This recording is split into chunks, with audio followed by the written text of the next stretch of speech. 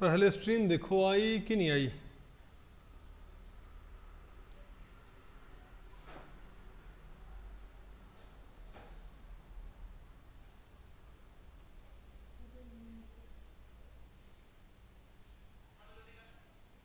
हम्म, होगी start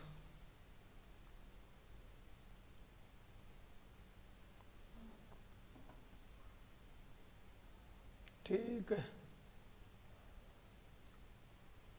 okay तो भैया आज हमें क्या पढ़ना है? बताओ। Thermodynamic and kinetic requirements of a reaction तो भाई इस टॉपिक को हमने टोटल दो पार्ट्स में डिवाइड किया हुआ है। पहले हम क्या बात करेंगे? किसी रिएक्शन की थर्मोडायनेमिक रिक्वायरमेंट क्या होती है? फिर हम बात करेंगे किसी रिएक्शन की काइनेटिक रिक्वायरमेंट्स क्या होती हैं। ओके तो पहले आप मुझे बताओ, आपको पता है कि कोई केमिकल रिएक्शन होती है, उसमें एक क्या होता है? रिएक्टेंट और एक हमारे पास क्या बनते हैं बताओ? प्रोडक्ट भाई। तो आपने क्या करना होता है? आपने इनकी भी क्या निकालनी है? इंथैल्पी और इनकी भी आपने क्या निकालनी है? इंथैल्पी तो इन दोनों का आपने क्या निकालना है? फिर इंथैल्पी चेंज अगर आपने इसकी इंथैल्पी में से इसकी इंथैल्पी माइनस कर दी उसको हम बोलेंगे कि बताओ क्या हमारे पास? Enthalpy of the reaction okay और सिमिलरली मान लिया हमारे पास, देखो ये रिएक्शन है। मान लिया रिएक्शन का पाथवे ये है। तो ये हमारे पास क्या है? प्रोडक्ट और ये हमारे पास क्या है? रिएक्टेंट्स तो enthalpy of products minus enthalpy of reactants अगर एक से ज़्यादा रिएक्टेंट हो तो उनकी इंथैल्पी सम कर दियो भाई समेशन कर दियो। समझे बात? एक से ज़्यादा क्या हो प्रोडक्ट हो तो सभी प्रोडक्ट्स की इंथैल्पीज का सम कर दियो। इसको हम बोलेंगे डेल्टा एच। सिमिलरली जो इसकी फ्री एनर्जी है फ्री एनर्जी आपको पता नहीं क्या होती है? फ्री एनर्जी होती है enthalpy plus H H plus बोलो भाई। पी वी क्या? पता हो ना आपको भाई फ्री एनर्जी सॉरी नहीं, अरे वो तो ई प्लस पी तो एच एच होगी इंथैल्पी तो होगी. लेकिन delta sorry H minus T S क्या? एच माइनस टी एस क्या होता है हमारे पास? इंथैल्पी होती होगी. सॉरी फ्री एनर्जी तो इसकी फ्री एनर्जी क्या है मान लिया? वो है जी पी क्या है? इसके बताओ क्या है? जी आर तो इन दोनों का आप क्या निकाल लो?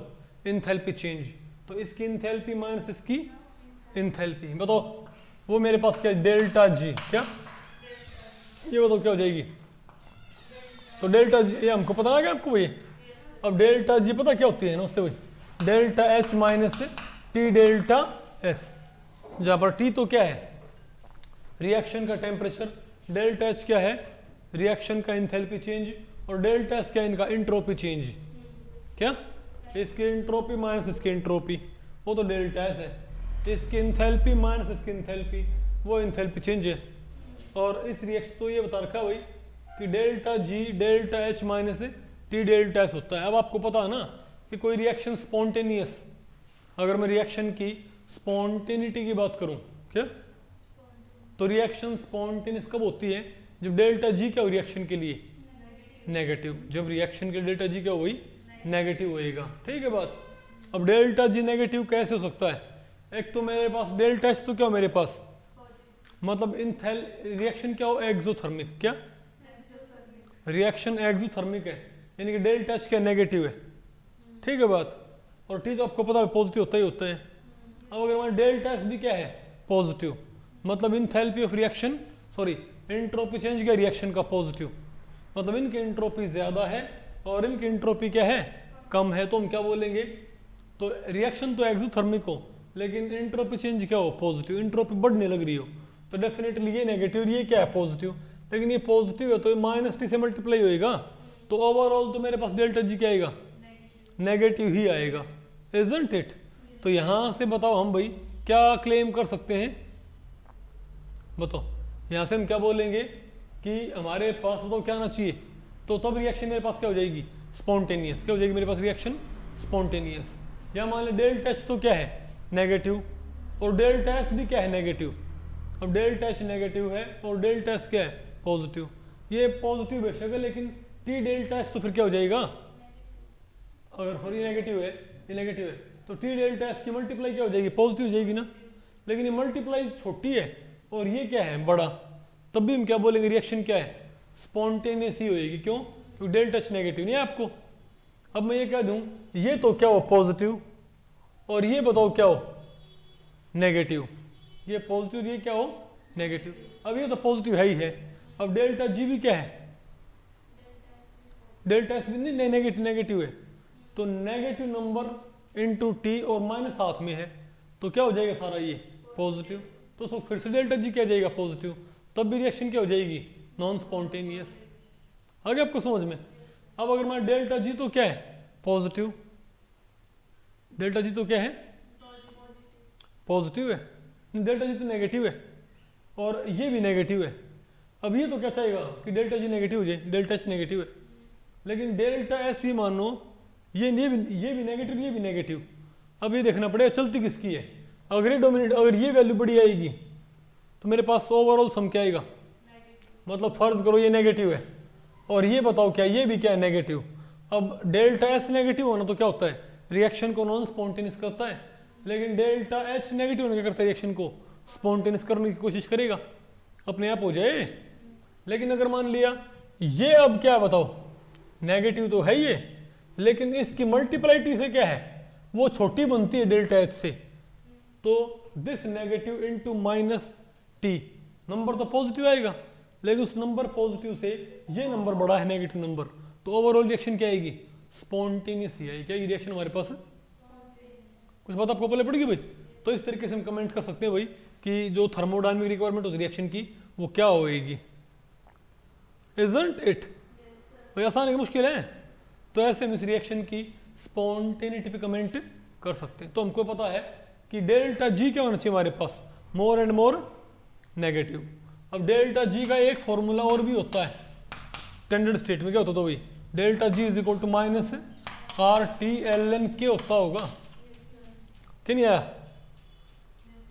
भाई डेल्टा जी तो होता है आर टी एल एन क्या होता है। अब डेल्टा जी खुद नेगेटिव है। डेल्टा जी क्या है? अब अगर अच्छा तो एल एन के बताओ मेरे पास क्या जाएगा। एल एन के बताओ मेरे पास क्या जाएगा। क्या मेरे पास एल एन के बताओ क्या आएगा। तो delta G by by minus R T आएगा ना मेरे पास। Delta G minus R T अब आप बताओ, अगर डेल्टा जी बताओ मेरे पास क्या है? नेगेटिव आया है। समझे बात? तो नेगेटिव क्या हो जाएगा? पॉजिटिव और डेल्टा जी नेगेटिव जितना बड़ा होएगा, यानी आप खुद कह रहे हो, डेल्टा जी नेगेटिव जितना बड़ा होएगा, उतना ही नंबर क्या आएगा? मोर पॉजिटिव क्योंकि माइनस माइनस कैंसिल होके मेरे पास क्या आएगा? बड़ा नंबर और उतना ज़्यादा किसकी वैल्यू आएगी? एल एन के। की या के की आप कह सकते हो, इसका एंटी लॉग कर देगा, इसका एंटी लॉग कर दियो। तो आपको साफ़ दिख रहा है, अगर डेल्टा जी मोर एंड मोर क्या होगा? नेगेटिव होएगा। तो उससे के की वैल्यू क्या होगी? मोर एंड मोर पॉजिटिव आएगी। और के की value more and more positive आएगी? के की value more and more positive आएगी। तो आपको पता है के क्या होता मान लिया मेरे पास ए से क्या बना मेरे पास बी बना है। तो इसके लिए इक्विलिब्रियम कांस्टेंट क्या होता है? बी कंसंट्रेशन बाई ए की कंसंट्रेशन तो अगर के ज़्यादा आया है इसका मतलब बी ज़्यादा बनता है और ये क्या होता है? कम बनता है। ये स्टेबल होगा, तभी तो बनेगा। क्या ये? स्टेबल है, तभी तो क्या होगा ये? ज़्यादा बनेगा। नहीं, आपको समझ में? तो भाई, इस तरीके से हम इसको बोल सकते हैं। ये स्टेबल है तो ज़्यादा क्या मतलब क्या है? कि ज़्यादा कौन बन रहा है? प्रोडक्ट और रिएक्टेंट क्या है? कम बचा है। नहीं समझे बात? तो मोर डेल्टा जी का मतलब क्या है? मोर नेगेटिव डेल्टा जी का मतलब क्या है? हायर वैल्यू ऑफ़ के मोर नेगेटिव डेल्टा जी मतलब क्या है? स्पॉन्टेनियस बोलो भाई। और हायर वैल्यू आई के की वैल्यू आएगी। और हायर के की वैल्यू का मतलब क्या होता है? ज़्यादा क्या इक्विलिब्रियम के ऊपर ज़्यादा क्या बना प्रोडक्ट रिएक्टेंट क्या है? कम बचा हुआ है। आ गया आपको? बताओ आ, नहीं आएगा आपको ये? ओके अब बताओ हम क्या कर सकते हैं यहाँ पर भाई? अब हम क्या कर सकते हैं यहाँ पर? तो अब क्या हमारे पास है? Kinetic requirement of a kinetic requirement for a reaction ठीक है? किसी रिएक्शन की काइनेटिक रिक्वायरमेंट क्या होती है? कोई रिएक्शन फास्ट होएगी कि स्लो होएगी? तो थर्मोडायनेमिक रिक्वायरमेंट तो आपने बात कर ली। होगी ना बात वही अब काइनेटिक रिक्वायरमेंट में क्या होता है? देखो थर्मोडायनेमिक रिक्वायरमेंट में आपने किन को इस्तेमाल किया था? डेल्टा जी, डेल्टा एच और डेल्टा एस। थर्मोडायनेमिक रिक्वायरमेंट समझने के लिए आपने delta G, delta H, delta S को कंसिडर किया है। लेकिन कहाँ पर? रिएक्टेंट और प्रोडक्ट के। रिएक्टेंट और लेकिन अगर आप रिएक्टेंट अच्छा तो अगर आप इसकी इंथैल्पी में से इसकी इंथैल्पी माइनस करते हो, क्या? इसकी इंथैल्पी क्या मान लो? एच पी इसकी आप क्या मान लो? एच आर क्या भाई? इनकी एच आर मान लो इसकी क्या मान लो? एच पी और भाई एच पी का सिलेंडर नहीं? अरे बताओ क्या हमारे पास? इसकी फ्री एनर्जी क्या है? जी पी इसकी बताओ क्या है? जी आर तो अगर आपने इसकी फ्री एनर्जी में से इसकी फ्री एनर्जी माइनस कर दी तो वो क्या है? फ्री एनर्जी ऑफ़ रिएक्शन वो डेल्टा जी है। आपने इसकी इंथैल्पी में से इसकी इंथैल्पी माइनस कर दी, वो क्या हमारे पास? बोलो भाई। वो डेल्टा जी हमारे पास फ्री एनर्जी ऑफ़ रिएक्शन और इसकी इंथैल्पी में से इंथैल्पी वो क्या डेल्टा एच और इसके इंट्रोपी में से इसकी इंट्रोपी डेल्टा एस है रिएक्शन का। तो तीनों पैरामीटर आपने कहा इस्तेमाल किए थे वही बताइए। तो ये मानो इसकी इसकी GP G R H R और एस आर क्या है? Enthalpy sorry free energy enthalpy और एंट्रोपी और इसकी बताओ बताओ क्या क्या है इसकी? इसकी इसकी तो क्या क्या भाई बताओ, इसकी जीपी एचपी और एसपी ये क्या है? हमारे पास जो क्या हमारा प्रोडक्ट उनकी फ्री एनर्जीज आ गया आपको ये? बोल के यहाँ पर दोबारा लिखता हूँ मैं. जीपी एचपी और एसपी तो अगर आपने इनमें से घटा, अगर आपने इनमें से घटा दिए ना तो वो इस्तेमाल होते हैं, बताओ कहाँ पर भाई? थर्मोडाइनमिक रिक्वायरमेंट में, है ना? और क्या कहलाएँगे? लेकिन भाई, यहाँ पर हमारे पास इसको क्या बोलते हैं? ट्रांजिशन स्टेट या एक्टिवेटेड कॉम्प्लेक्स भाई हाई एनर्जी मैक्सिमम पे कौन बैठा है? ट्रांजिशन स्टेट या एक्टिवेटेड कॉम्प्लेक्स भाई, यहाँ बैठा है। ठीक है बात। तो इसकी आप बताओ क्या मान, इसकी आप क्या मान लो, इसकी आप मान लो। बोलो भाई। इसकी आप बताओ क्या बोलो भाई। एक्ट इसको हम बोलते हैं एक्ट ए सी तो ये क्या मेरे पास? जी ए सी एच ए सी और एस ए सी मतलब इसको बोल दो जी टी क्या भाई? इसको आप G T H T S T बोल दो। इसका मतलब क्या है? कि ट्रांजिशन स्टेट या एक्टिवेटेड कॉम्प्लेक्स की फ्री एनर्जी इंथेल्पी और इंट्रोपी तो अगर आपने इसमें से ये माइनस कर दी ना, इसमें से ये, इसमें से ये और इसमें से ये तो इनको पता क्या बोलते हैं? इनको बोलते हैं डेल्टा जी डैगर या स्टार। क्या? और ये क्या हो जाएगा? डेल्टा एच डैगर या स्टार। ये क्या हो जाएगा? डेल्टा एस डैगर या स्टार। क्यों? तो ये जो पैरामीटर है ना, ये किसको डिसाइड करते हैं? काइनेटिक रिक्वायरमेंट के लिए होते हैं। किसके लिए? क्योंकि आपको ऐसे कैसे कहोगे बस सिंपल सी बात है। काइनेटिक रिक्वायरमेंट का मतलब क्या होता है? कि रिएक्शन की स्पीड कितनी है। और ये बात किससे डिसाइड होएगी? कि ये मेरे पास क्या है? रिएक्टेंट और ये मेरे पास क्या है? बैरियर तो बैरियर जितना कम होगा, ये उतना इजीली क्या हो जाएगा?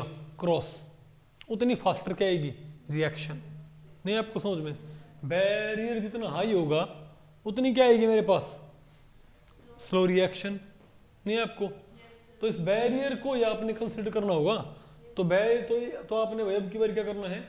इनकी इंथैल्पी फ्री एनर्जी और एंट्रोपीज का डिफरेंस नोट करना है इनसे। और इनकी इनकी टर्म्स में क्या होगी? रिएक्शन की स्पीड को आप डिफाइन कर सकते हो। आगे आपको? अब थोड़ा आपको याद हो भाई।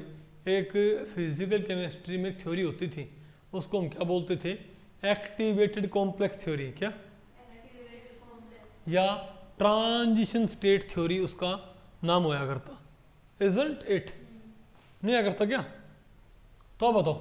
तो अगर मैं ये कह देता हूँ कि मेरे पास भाई ये मेरे पास क्या है? रिएक्टेंट ये मेरे पास क्या है? मान ये मेरे पास क्या है? और इससे बताओ पहले क्या बन गया हमारे पास? Activated complex. क्या भाई फिर ये किस मिलता है? इनटू प्रोडक्ट और इसके लिए इक्विलिब्रियम कांस्टेंट क्या हमारे पास?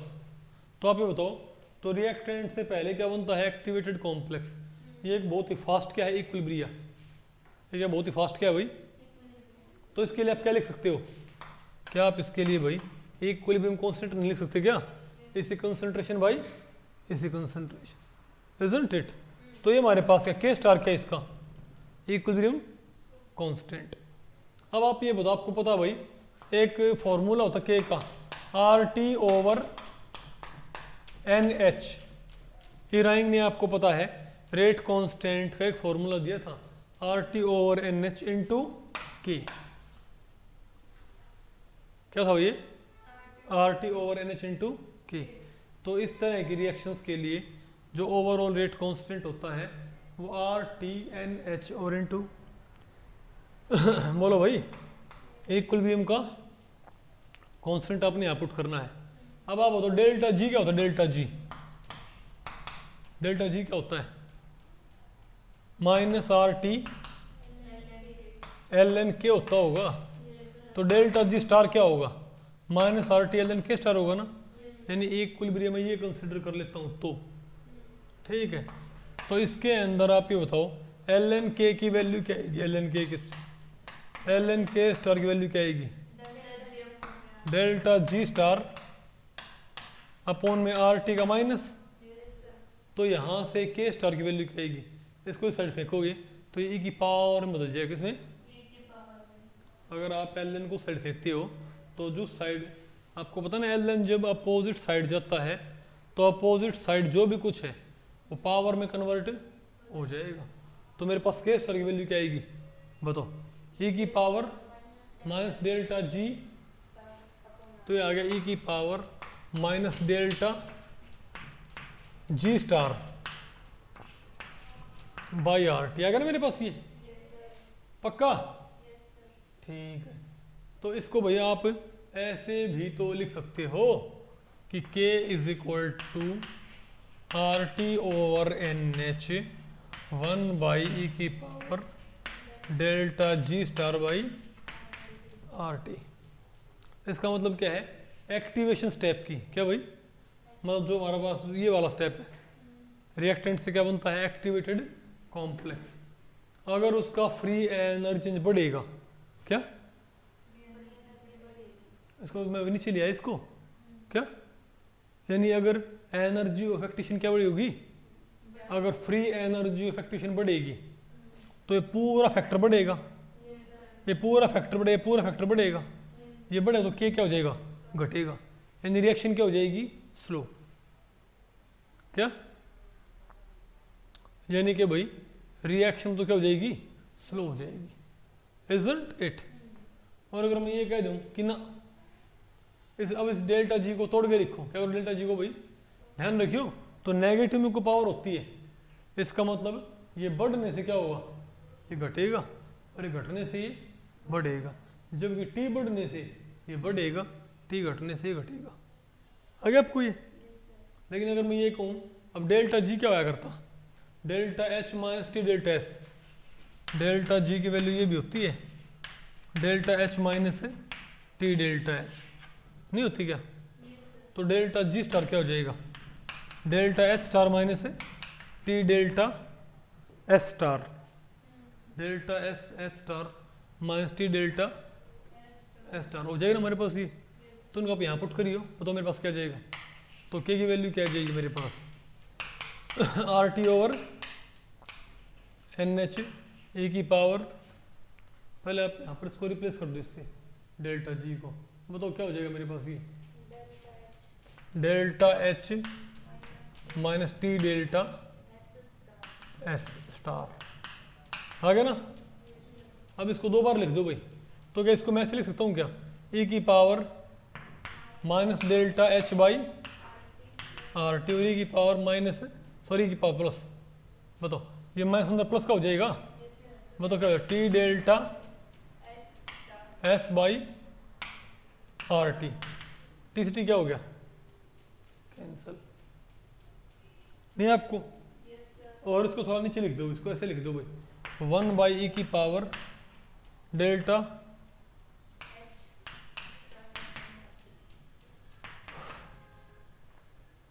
Isn't it. अब आप मुझे बताओ तो हमको भाई किसी रिएक्शन की काइनेटिक रिक्वायरमेंट पे भी हम अब इजीली बात कर सकते हैं आपको कैसे कैसे तो अब आप मुझे बताओ देखो अब कोई आपसे फ्री एनर्जी वाला पूछे तो यहाँ तो क्या थे मेरे पास? फ्री एनर्जी तो मैंने पढ़ लिया था।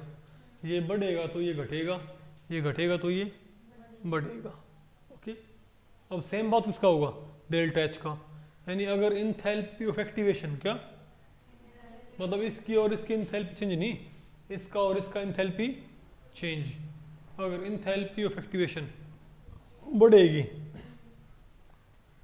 जितनी ज़्यादा क्या होगी इंथैल्पी ऑफ़ एक्टिवेशन होगी। उतना ही फैक्टर क्या होगा? बढ़ेगा तो क्या क्या जाएगा? कम हो जाएगा। यानी जितनी इंथैल्पी ऑफ़ एक्टिवेशन बढ़ेगी उतना क्या क्या हो जाएगा? कम हो जाएगा। यानी रेट क्या हो जाएगी? स्लो हो जाएगी। बैरियर बढ़ गया तो रेट क्या हो गई स्लो होगी। लेकिन यहाँ पर देखियो भाई अगर इंट्रोपी ऑफ़ एक्टिवेशन बढ़े क्या? तो पूरा फैक्टर बढ़ेगा ना भैया लेकिन भैया बढ़ेगा तो, तो आके क्या होगा? क्योंकि इसके डायरेक्टली है। इसके तो इस ये के, इस फैक्टर के तो क्या है? डायरेक्टली लेकिन ये के इस फैक्टर क्या है? इनवर्सली नहीं समझे बात? तो डेल्टा एच बढ़ने से ये फैक्टर बढ़ता है और डेल्टा एस स्टार बढ़ने से ये फैक्टर बढ़ता है। इसीलिए हम क्या बोलेंगे? इंट्रोपी ऑफ़ एक्टिवेशन बढ़ने से उससे तो रेट क्या हो जाएगी? फास्ट हो जाएगी। लेकिन इंथैल्पी ऑफ़ एक्टिवेशन बढ़ने से उससे रेट क्या हो जाएगी? स्लो हो जाएगी। ओके तो इस तरीके से हम इनके ऊपर कमेंट कर सकते हैं। नहीं है ना?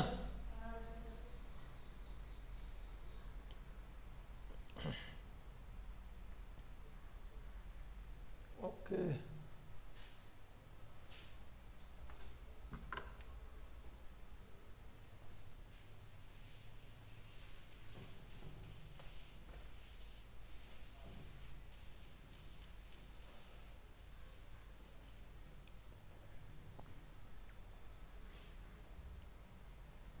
ओके, अब बताओ हम क्या पढ़ते हैं भाई? Kinetic and thermodynamic control of a reaction देखो, इससे पहले आपने क्या पढ़ी थी भाई? थर्मोडायनेमिक और काइनेटिक रिक्वायरमेंट्स आपने पढ़ी हैं।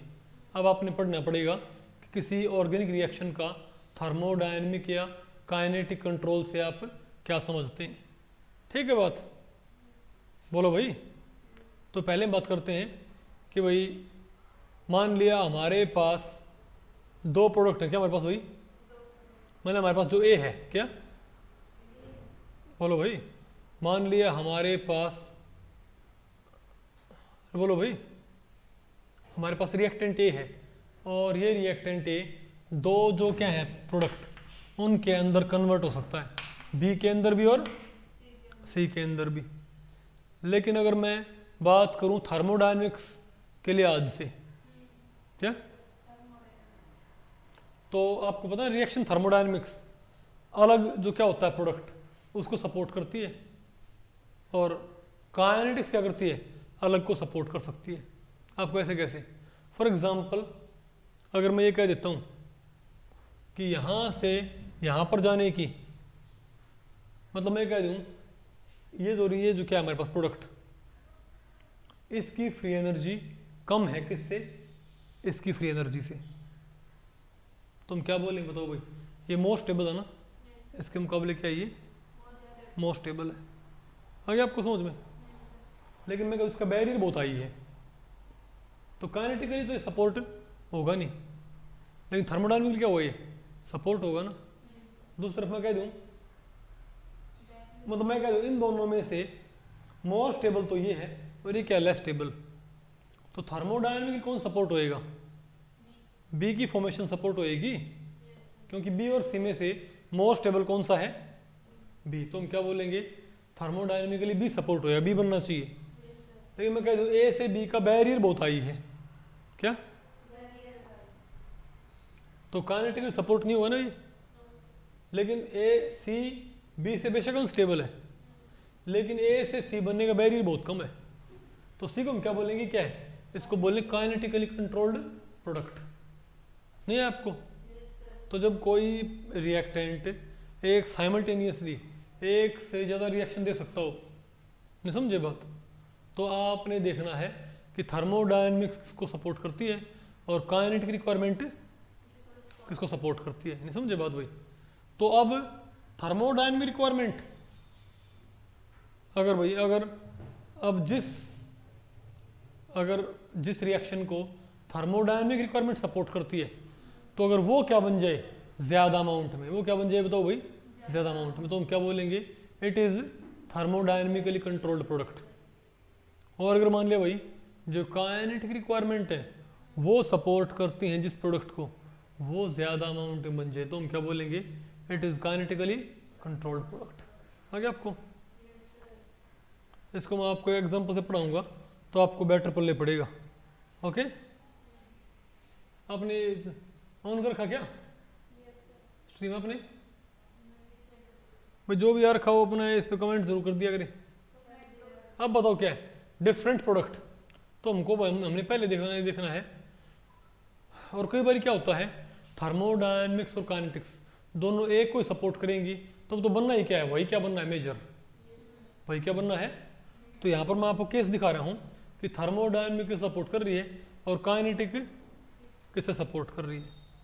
ये भाई फ्री एनर्जी क्या ये? तो ये मान लिया मेरे पास क्या है? रिएक्टेंट और ये बताओ मेरे पास क्या है? प्रोडक्ट ये तो ए से सी है, ये क्या है? ए से बी है। हाँ बताओ भाई बैरियर ज़्यादा किसका बैरियर ए से बी बनने का बैरियर क्या है? ज़्यादा। ए से सी बनने का बैरियर क्या है? कम। तो काइनेटिक्स किसको सपोर्ट करेगी? तो ये किस तरह का ग्राफ है? बताओ। यहाँ पर काइनेटिक्स किसे सपोर्ट कर रही है? किसको भाई?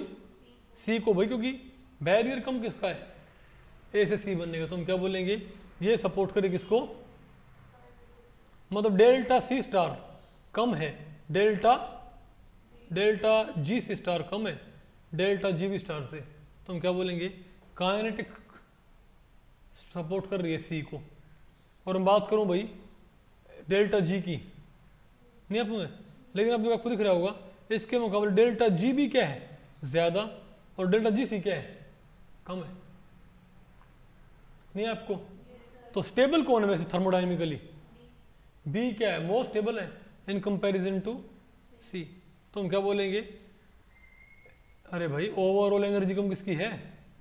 ओवरऑल फ्री एनर्जी कम बी की है ना? तो थर्मोडायनमिक्स किसको सपोर्ट कर रही है? बी को। क्यों भाई, क्योंकि बी नीचे है। नहीं आपको? तो बी नीचे है सी से। ए से ज़्यादा नीचे कौन है? सी की बी तो थर्मोडायनमिक सपोर्ट कर रही है बी के बनने को। लेकिन बी के लिए बैरियर क्या है ज़्यादा? Isn't it? और वही सी के की वैल्यू क्या है? कम है। तो हम क्या बोलेंगे? कि बताओ यहाँ पर क्या है? तो हम क्या कहेंगे? तो अगर तो सी को कौन सपोर्ट कर काइनेटिक्स तो जब आपके पास फाइनल कंपाउंड बने ना तो आप जब रिएक्शन पूरी हो जाए तो, तो आपको क्या नज़र आए रिएक्शन वेसल में? तो अगर आपको रिएक्शन वेसल में क्या नज़र आए? सी प्रोडक्ट ज़्यादा तो आप क्या बोलोगे? कि रिएक्शन इज़ काइनेटिकली कंट्रोल्ड और आपको बी ज़्यादा मिले। बी का फ्रैक्शन क्या मिले? ज़्यादा। तुम क्या बोलेंगे? रिएक्शन इज़ थर्मोडाइनमिकली कंट्रोल्ड नहीं आएगा आपको?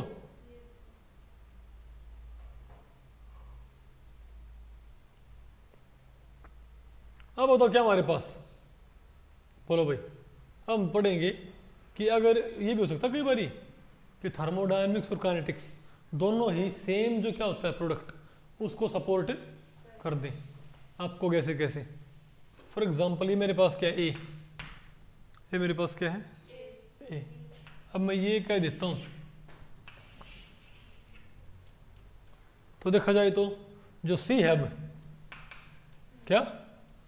देखा जाए तो ए से सी बनने का ए से बी बनने के मुकाबले ए से सी बनने का, इसके मुकाबले बैरियर भी क्या है? कम है।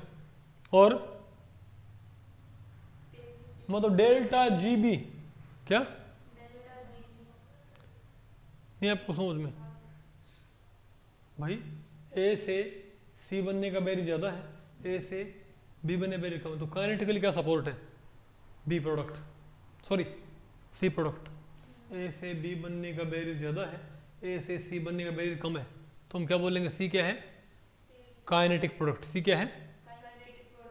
लेकिन भाई बी और सी में से मोस्ट स्टेबल भी कौन सा है? सी है। तो थर्मोडायनेमिक्स भी किसको सपोर्ट करेगी यहाँ पर? सी को तो हम क्या बोलेंगे? तो यहाँ पर तो डेफिनेटली क्या होगा बताओ?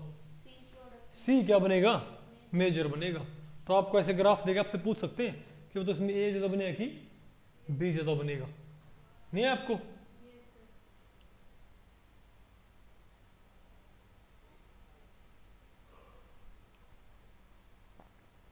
नहीं है ना आपको वही ठीक है।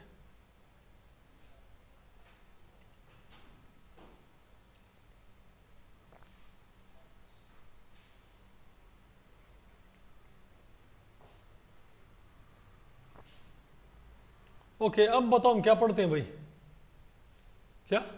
हैमंड लेफलर पोस्टुलेट तो भाई इस टॉपिक को हमने टोटल तीन पार्ट्स में डिवाइड किया हुआ है। पहले हम क्या पढ़ेंगे? Statement of Hammond Leffler postulate फिर हम क्या पढ़ेंगे? Interpretation of Hammond Leffler postulate फिर हम क्या पढ़ेंगे? Significance of Hammond Leffler postulate okay तो पहले हम क्या बात करते तो भाई statement of Hammond Leffler postulate अब देखो भाई, एक होता दिक्कत ये है कि जो होमंड जो होमंड पोस्टुलेट होता है, क्या भाई? सर जो भाई होमंड पोस्टुलेट है। क्या आपका जो भाई? अरे इसको होमंड बोलते हैं ख्याल से होमंड था नाम इसका? कोई बात नहीं। जो हैमंड पोस्टुलेट है, ठीक है। उसको आमतौर पे बच्चे गलत पढ़ते हैं। वो होता क्या है लेफ्लर प्रिंसिपल ये क्या कहता है? आपने ये पढ़ा होगा ना, आपकी भाई क्लासेस में एमएससी वगैरह में। कि जब कोई रिएक्शन प्रोसीड करती है, क्योंकि देखो इसकी ज़रूरत क्या पड़ती है? देखो जो, जब रिएक्टेंट से क्या बनता है? प्रोडक्ट तो हमारे पास जो इंटरमीडिएट बनते हैं इंटरमीडिएट की स्ट्रक्चर में कोई दिक्कत नहीं होती, क्योंकि इंटरमीडिएट को आप आसानी से आइसोलेट कर सकते हो। और भाई डिफरेंट टेक्निक से आप इंटरमीडिएट की स्ट्रक्चर के ऊपर कमेंट कर सकते हो कि उसकी स्ट्रक्चर कैसी होगी। लेकिन क्योंकि ट्रांजिशन स्टेट को आप एक्चुअल में आइसोलेट नहीं कर सकते। ट्रांजिशन स्टेट की जो मोलिकुलर ज्योमेट्री होती है, उसको हम एक्चुअल में आइसोलेट नहीं कर सकते भाई। ठीक है? तो उसकी ज्योमेट्री को, उसकी स्ट्रक्चर को हम एक्सपेरिमेंटली मालूम नहीं कर पाएँगे। किसी मेथड से। तो इसलिए क्या चाहिए होता कोई ना कोई? हमें कोई ना कोई क्या चाहिए? एडवांस टेक्निक कोई हमको भाई अप्रोक्सीमेट टेक्निक चाहिए। जिससे ट्रांजिशन स्टेट की ज्योमेट्री के ऊपर कमेंट किया जा सके तो लेफ्लर प्रिंसिपल और हमंड पोस्टुलेट दोनों ही क्या बताते हैं? कि आप किस तरीके से किसको मालूम कर सकते हो? ट्रांजिशन स्टेट ज्योमेट्री को मालूम कर सकते हो थ्योरेटिकली ठीक है? तो बताओ भाई। तो पहले तो भाई हमंड पोस्टुलेट क्या कहता है? क्या कहता है? If two states occur consecutively क्या? अगर किसी रिएक्शन मैकेनिज्म के दौरान अगर दो स्टेट कैसी होती हैं कॉन्जिक्यूटिवली एग्जिस्ट कर रही हैं। समझे बात? बोलो भाई। And have nearly same energy और उनकी एनर्जी क्या बताओ भाई? Same interconversion will involve a small reorganisation of molecular structure तो ये कहता अगर मान लिया हमारे पास कोई रिएक्शन है, हमारे पास क्या कोई? रिएक्शन नहीं, आपको समझ में? तो आपसे आपसे कोई पूछ ले कि जो हमारे पास, ये मेरे पास क्या है? ट्रांजिशन स्टेट तो इसकी जो स्ट्रक्चर होगी ना तो कहता है अगर ये स्ट्रक्चर ये ट्रांजिशन स्टेट और ये इंटरमीडिएट क्या दोनों कॉन्जिक्यूटिवली नहीं क्या? क्या बिल्कुल? देखो, ये और ये कॉन्जिक्यूटिव नहीं है। ये और ये और ये भी क्या है कॉन्जिक्यूटिव और ये और ये भी क्या है कॉन्जिक्यूटिव लगातार नहीं समझे बात भाई? तो कहता है कि इन दोनों की, क्या भाई? अगर दो कॉन्जिक्यूटिव स्ट्रक्चर हैं क्या है दो? कंपेरेबल एनर्जी की। तो कहता है, इनकी मोलिकुलर स्ट्रक्चर को रीऑर्गेनाइज करने में आपको बहुत ही कम टाइम बहुत कम एनर्जी लगेगी। नहीं, आपको समझ अगर दो मोलिक अगर किसी रिएक्शन पाथवे के दौरान, दो मोलिकुलर स्ट्रक्चर चाहे वो ट्रांसिट स्टेट से क्या हो इंटरमीडिएट से क्या हो, आपके पास रिएक्टेंट और प्रोडक्ट ठीक है बात? तो जो नियर बाई कॉन्जिक्यूटिव स्ट्रक्चर होगी, क्या होगी? जो होगी ना, उसकी एनर्जी में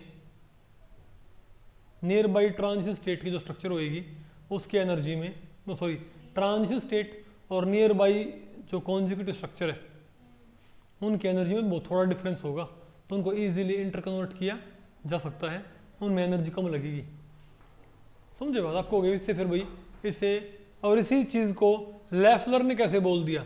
लेफलर ने इसको एक प्रिंसिपल दे, उसको बोलते हैं लेफलर प्रिंसिपल लेफलर ने बोला था कि भाई, कोई भी जो क्या होगी ट्रांजिशन स्टेट क्या क्या, कोई भी ट्रांजिशन स्टेट उसके नज़दीक जो क्या पड़ेगा? एनर्जी स्केल उसके नज़दीक जो क्या क्या पड़ेगा? इंटरमीडिएट या रिएक्टेंट या प्रोडक्ट उसकी स्ट्रक्चर उससे रिजेंबल करेगी। क्या? नहीं समझे बात? ये कहता है ट्रांजिशन स्टेट की स्ट्रक्चर किससे रिजेंबल करेगी? जो रिएक्टेंट या इंटरमीडिएट या प्रोडक्ट उससे एनर्जी में नियर बाई है। समझ गए बात? तो देखा जाए तो ये भाई मतलब आप कह सकते हैं, आप कह सकते हो ट्रांजिशन स्टेट बोलो भाई have great resemblance to less stable state क्या? लेस स्टेबल कॉन्जुगेटिव स्टेट तो दो, ये मेरे पास क्या ट्रांजिशन स्टेट है?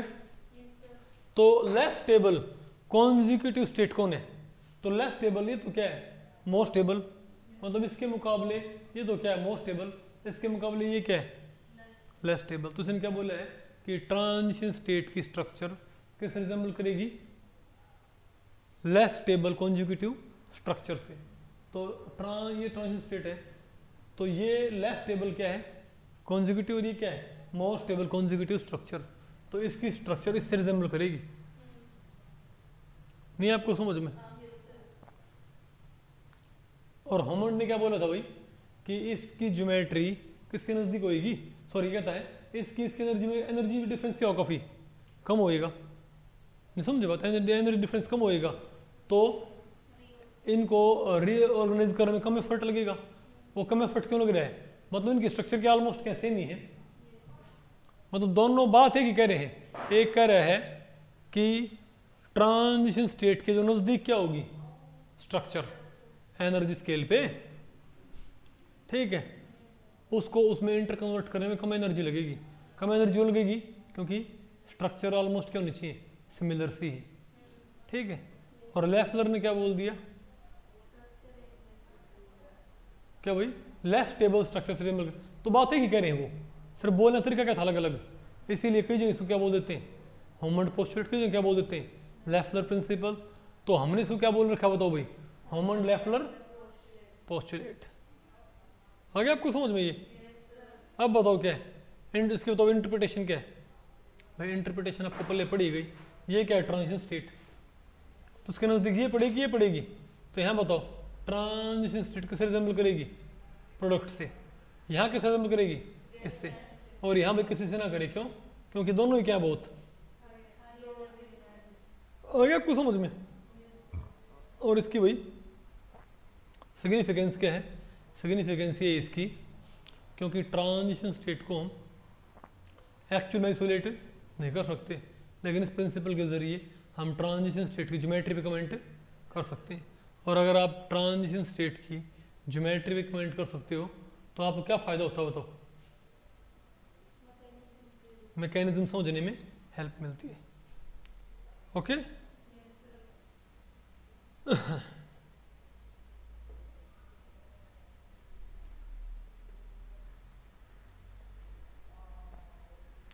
आसान है मुश्किल है okay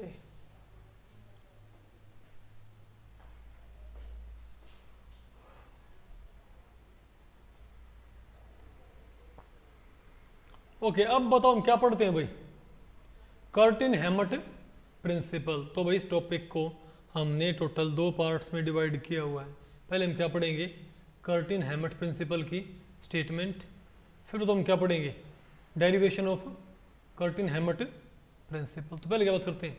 Statement of Curtin Hammett principle मैं आपको बताऊँ, ये जो प्रिंसिपल था, ये दो साइंटिस्ट थे, ठीक है? डेविड यारो कर्टिन और लुइस प्लैंक हैमट ठीक है? तो उन्होंने जो कन्फर्मेशनल इक्विलिब्रियम होती हैं, क्या?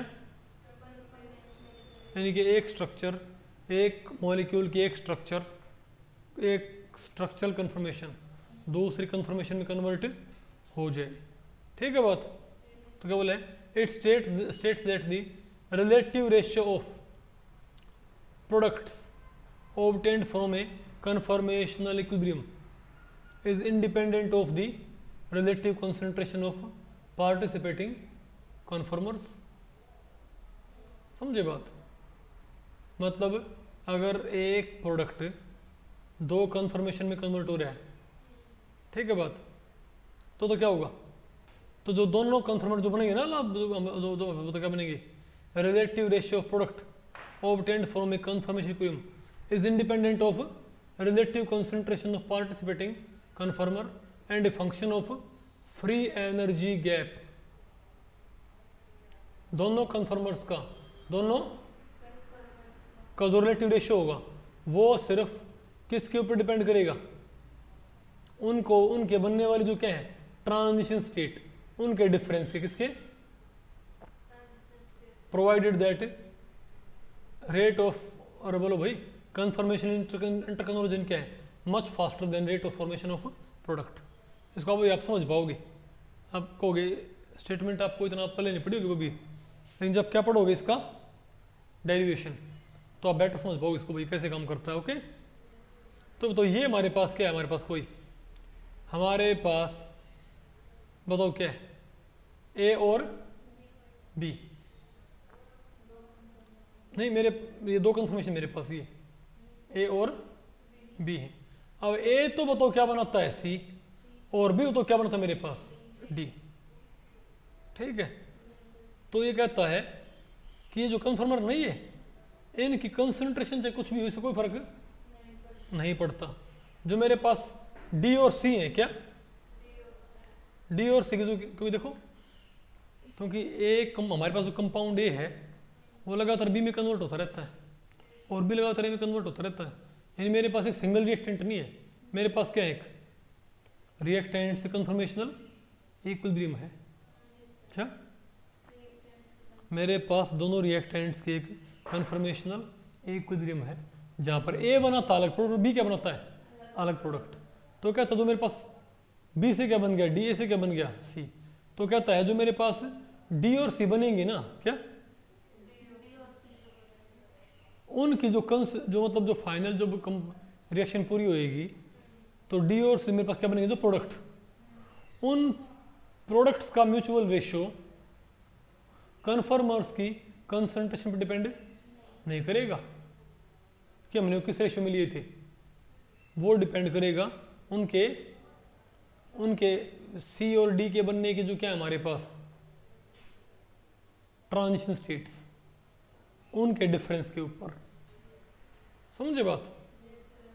तो देखो, पहले आप देख लो, मान लिया मेरे पास ये है ओके तो ए और बी तो ये बताओ मेरे पास क्या ए अरे तो मेरे पास क्या है? बी क्या? क्या मेरे पास ए और बी है मेरे पास, ये। ठीक है बात। तो ए से क्या बनेगा बताओ भाई? ध्यान रखिए ए से भी तो क्या है? कंफर्मेशनल एक है। अब बताओ ए से बताओ क्या बनता है मेरे पास? सी और बताओ बी से मेरे पास क्या बनता है? डी बनता है। और ये मानो बी से डी बनने का क्या है? Barrier free energy barrier delta G B star और ए से सी बनने का बैरियर क्या है? डेल्टा जी स्टार नहीं आपको? तो कहता है डी और सी का। नहीं आपको समझ में क्या? बी से डी बनने का बैरियर तो ये है। और ए से सी बनने का बैरियर मेरे पास ये हो गया। आ गया ना? तो ये कहता है कि इसमें से घटा दो। क्या? यानी डी बनने का जो फ्री एनर्जी बैरियर है, क्या? डी बनने के बैरियर में से क्या करो? ए बनने का बैरियर घटा दो।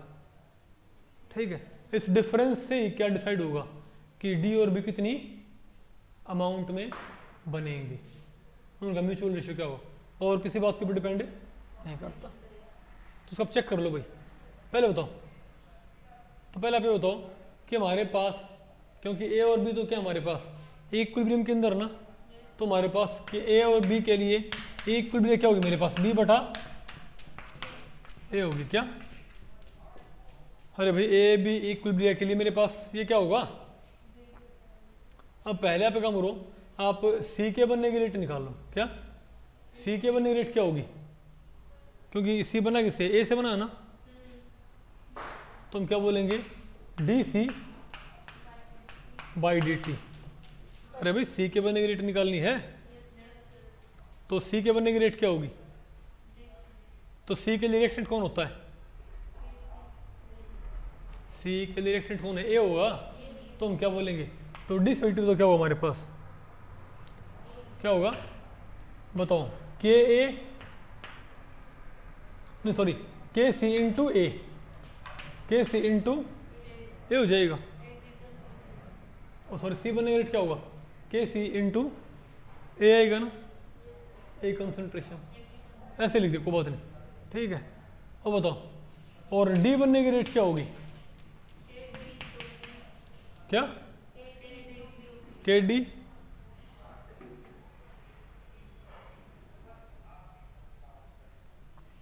बताओ भाई। डी के रेट क्या होगी? D D by D T क्या होगा? के डी इंटू बी क्योंकि इसके लिए बताओ क्या प्रोडक्ट के डी इंटू बी आ गया ना? रिज़ल्ट इट अब आप एक काम करो, आप दोनों नहीं के सी और के डी क्या लिखो? रेट कॉन्स्टेंट क्या? अब आप बताओ के क्या करता मेरे पास? कि मेरे पास क्या करता? क्या करता? R T over N H E की power minus delta G star भाई आर टी आया करता ना भाई। तो तो के सी बताओ मेरे पास क्या हो जाएगा? क्या? के सी में क्या? होगा आर टी जैसे ऐसे और सी बनने का बैरी कितना है? सी बनने का बैरी कितना है? देखियो। Delta G A. Delta G star नहीं क्या? तो यहाँ पर आप क्या पुट कर दोगे? Delta G A star. और के डी बनने का तो क्या है मेरे पास barrier R T over N H E की पावर माइनस से delta G B star by R T आ गया? तो आपने के सी और के डी लिख दिए भाई। तो आपने यहाँ पर क्या पुट कर दिए? के सी और के डी पुट कर दिए। नहीं आपको? अब के सी और के डी पुट करने के बाद उनके, अब एक काम करो आप। अब पहले आप इनको मल्टीप्लाई करो। तो D C by D T और डी टी है हमें पास ये। इन दोनों को मल्टीप्लाई करूँ। नहीं, इनको भाग कर दो। इसको इससे भाग कर दो। नहीं सॉरी सेकंड वाले को पहले वाले से भाग कर दो। तो पहले वाला क्या, पलट जाएगा ना? तो D D by D C क्या हो जाएगा? D T by D C. नहीं आपको? अब बी बाई ए क्या होता है? के। तो मेरे पास D D by D C क्या आया तो बताओ। तो अगर आपने इसको इससे भाग कर दिया तो मेरे पास D D by D C, बताओ क्या होगा मेरे पास ये? के डी बाई के सी। इंटू क्या आ जाएगा? के। नहीं आपको? क्योंकि बी बाई आ जाएगा मेरे पास। तो बताओ, अब के डी और के सी की वैल्यू उठा के यहाँ से यहाँ पुट कर दो। नहीं आपको समझ में? के डी की वैल्यू यहाँ पर उठा के भाई पुट कर दो। और के की वैल्यू पुट कर दो। के की वैल्यू पुट कर दो। के डी के सी की भी और के डी की भी। सब की वैल्यू पुट कर दी। मेरे पास ये आ गया। तो इनके बनने की रेट जो होगी, वही क्या होगा हमारे पास? प्रोडक्ट रेशियो, क्या है मेरे पास? रेशियो। इसको ऊपर ले जाओ। मेरे पास ये आ गया? अब इसको ए की एक पावर बना दो। की एक पावर बन जाएगा मेरे पास ये? वो तो मेरे पास क्या फाइनली मेरे पास क्या आया प्रोडक्ट रेशियो बताओ। क्या है मेरे पास ये? बोलो भाई। तो हमारे पास, बताओ क्या आएगा? इसको आपने क्या पुट कर दिया बताओ भाई? अब मैं क्या, अब मैंने क्या बोला था कि डेल्टा जी नोट बहुत ही कम है, क्योंकि ये इंटरनल बहुत फास्ट है ये। ये क्या बहुत ही फास्ट है? तो ये क्या बिल्कुल ना के बराबर।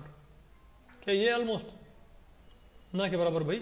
तो दिस माइनस दिस अगर आपने ये गैप निकालना है, अगर आपने, नहीं, आपको समझ अगर डेल्टा जी क्या है?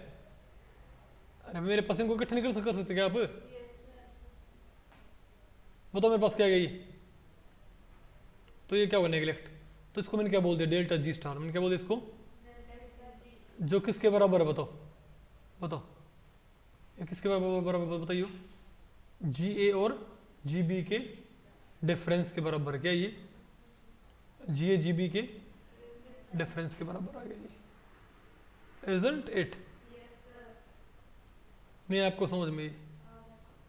ठीक है। प्रोडक्ट रेशियो नहीं आपको समझ में। तो इस तरीके से आप तो सिर्फ़ के ऊपर डिपेंड करता है।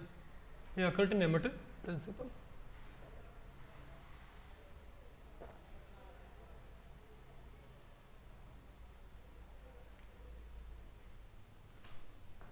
हाँ मिटा दे इसको।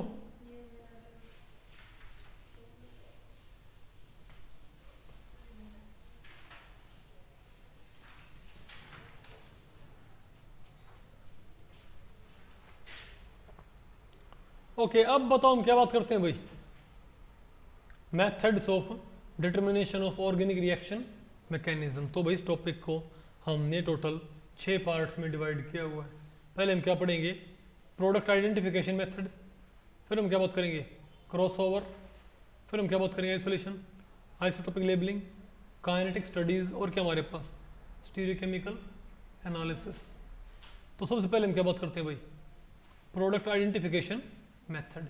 कई बार क्या होता है कि मैकेनिज्म मालूम करने के लिए आप नहीं भाई, किस पे कमेंट कर सकते हो कि जो हमारे पास क्या बने फाइनल प्रोडक्ट उनको देख के आप इस पर कमेंट कर सकते हो कि इसका मैकेनिज्म क्या है। आपको कैसे कैसे? फॉर एग्ज़ाम्पल अगर हमारे पास, बताओ क्या ये एक? बताओ, अगर यहाँ पर आपने सी एल को हटा के क्या? क्या भाई? आपने सी एल को उठा के तो बताओ यहाँ पर क्या जोड़ना आपने ओ OH मतलब ये एक डिस्प्लेसमेंट रिएक्शन क्या ये? डिस्प्लेसमेंट रिएक्शन हमारे पास ये। ओके कि नहीं, आपको वही है? क्या हमारे पास डिस्प्लेसमेंट रिएक्शन है ये। तो इससे सवाल ये उठता है, अब मुझे ये नहीं पता कि जो सी है, जो ओ OH नेगेटिव है क्या? ओ OH नेगेटिव है। वो इसमें कैसे आया है? वो एस एन वन के थ्रू आया है कि एस एन टू के थ्रू आया, कैसे आया है? मतलब भाई मतलब एसोसिएटिव पाथवे से आया कि डिसोसिएटिव पाथवे से आया है। ओके अब एक बात मुझे पता है भाई, अगर ये एसोसिएटिव पाथवे से आता, किससे आता ये? तो हमेशा ओ OH कहाँ पर आता? यहाँ पर नहीं था हमारे पास? कहाँ पर वही ओ OH यहाँ पर आएगा। लेकिन अगर मैं ये मान लेता हूँ कि इसमें डिसोसिएशन होता है, यानी पहले यहाँ पर क्या होगा हमारे पास? सी एच थ्री और क्या हमारे पास ये? सी एच थ्री तो मेरे पास क्या है? सी एच डबल बॉन्ड ये ना हमारे पास वही है। लेकिन अगर मैं ये मान लेता हूँ कि डिसोसिएटिव पाथ चला गया, बताओ। तो ये सी एल नेगेटिव यहाँ से निकल जाएगा ना? तो यहाँ पर क्या आएगा? पॉजिटिव क्या आएगा? पॉजिटिव आएगा। रिज़ल्ट इट और अब मुझे पता भाई, क्योंकि ये रेजोनेंस स्टेबलाइज्ड है। क्या ये? तो अगले स्टेप में डबल बॉन्ड कहाँ पर आएगा? यहाँ पर आएगा। तो सी एच थ्री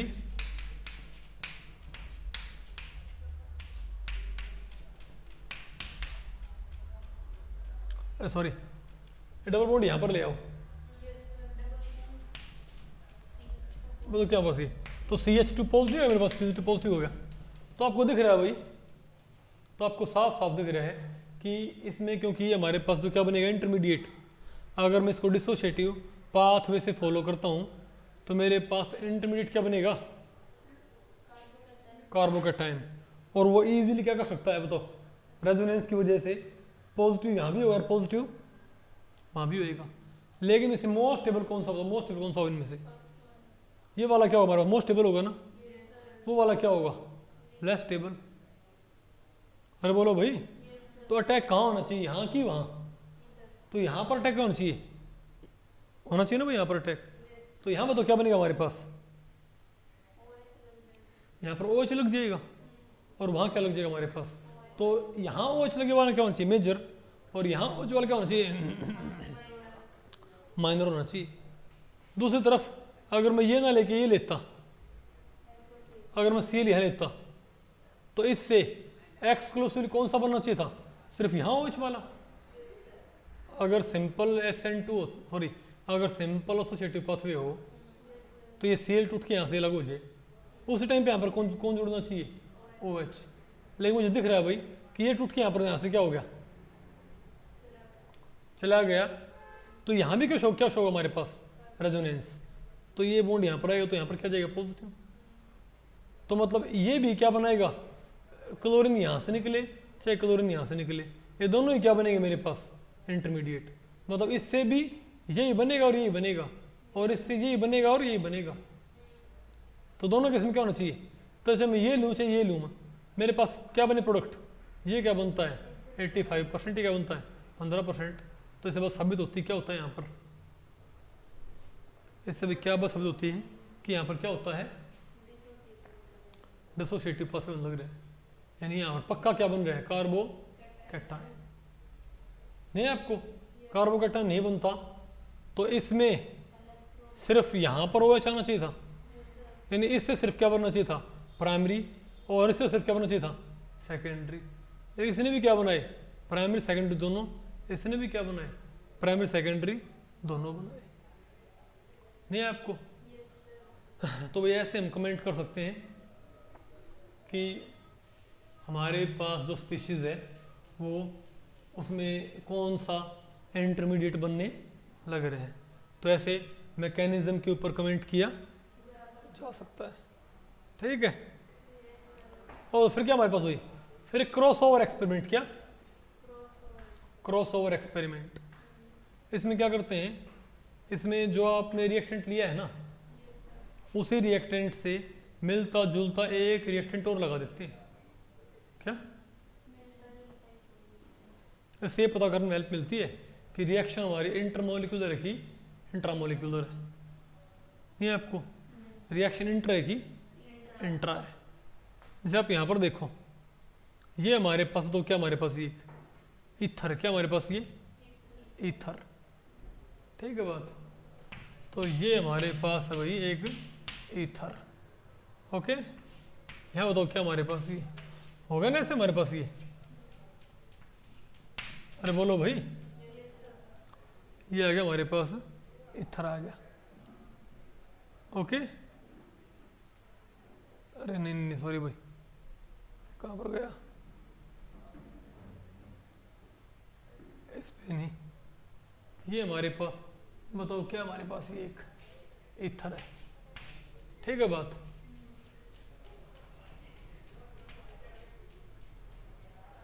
बताओ। अब आप बताओ क्या करो इसका? बन गया हमारे पास ये?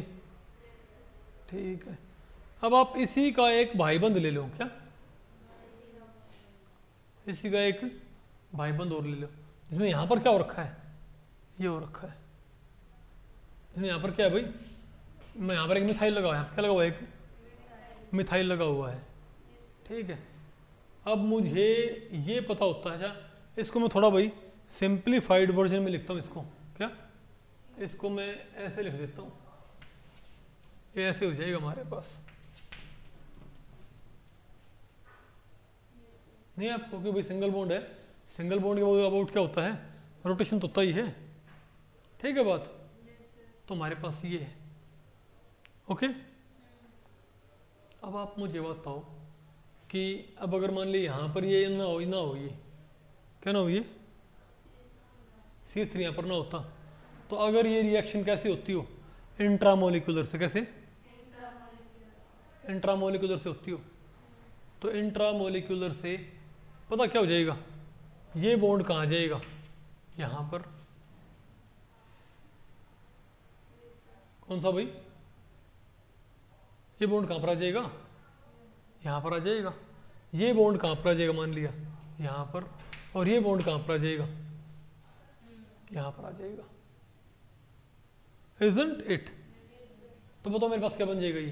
तो ये बॉन्ड यहाँ से गया। तो यहाँ पर क्या हो गया? डबल ये बॉन्ड यहाँ से टूट गया। बोलो भाई। और डबल बॉन्ड यहाँ आ गया। और ये बताओ मेरे पास क्या हो गया? अब यहाँ पर एक एच यहाँ पर, क्या है एक? एच है यहाँ पर। नहीं रहा आपको समझ में? अब उसके बाद ये प्रोटॉन क्या हो जाए? ट्रांसफ़र ये प्रोटॉन क्या हो जाए? ट्रांसफ़र हो जाए यहाँ से। नहीं, अब ये यहाँ से यहाँ पर आ जाए। तो ये क्या आपका? ये क्लेजन कंडेंस वो है क्लेजन रीअरेंजमेंट पता होगा ना आपको क्या क्लेजन पहले साइकिल के अंदर ये तो ये यहाँ पर नेगेटिव हो गया। मुझे पता है ये प्रोटॉन ये बॉन्ड तो यहाँ आ जाएगा। और प्रोटॉन कहाँ जाएगा? यहाँ पर ओ OH आ गया ना हमारे पास ये? अरे बोलो भाई। हमारे पास तो ये नहीं किया हमारे पास एलाइल एराइल इथर से क्या बन गया? एल एलाइल एल्कोहल क्या बन गया? एल्कोहल तो ये इंट्रा हुआ, कि इंट्रू हुआ है? इंट्रा हुआ है ना?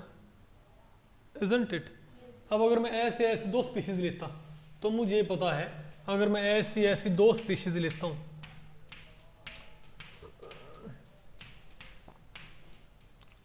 नहीं, आपको सुन भाई, ऐसे में खेलता हूँ।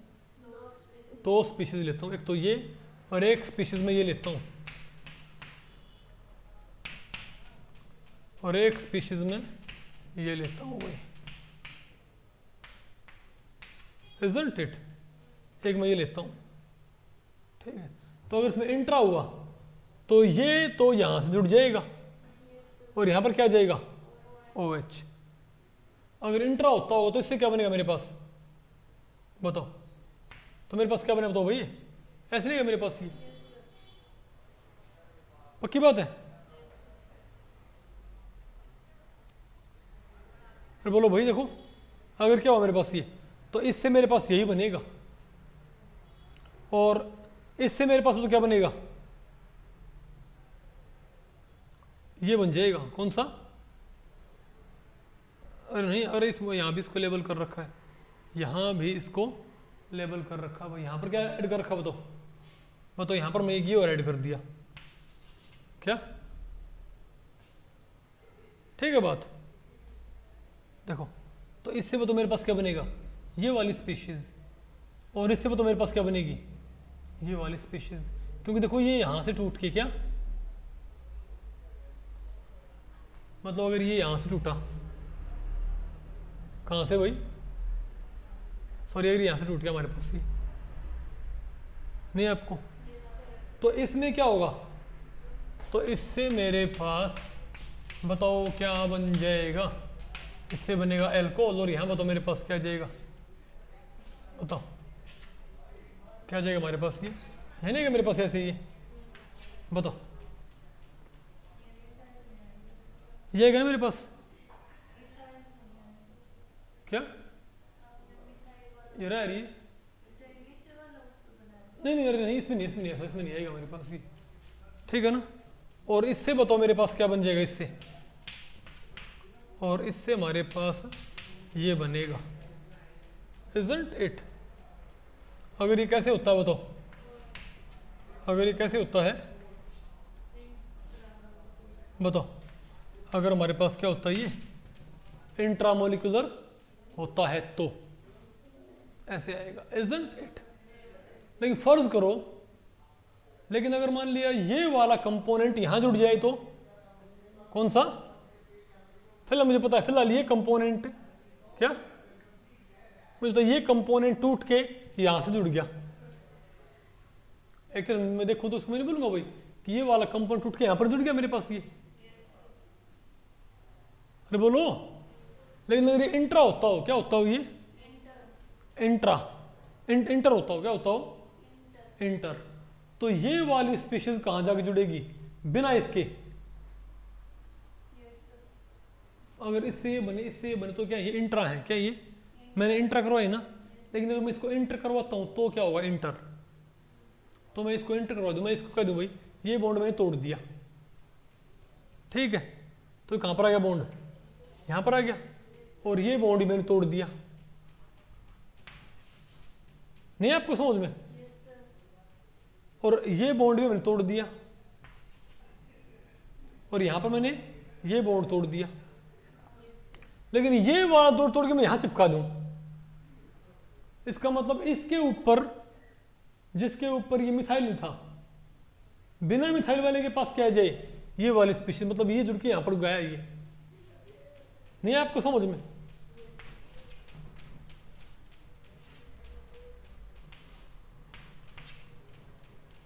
नहीं आपको समझ में। मतलब ये वाली स्पीशीज टूट के ऊपर चली गई। कौन सी?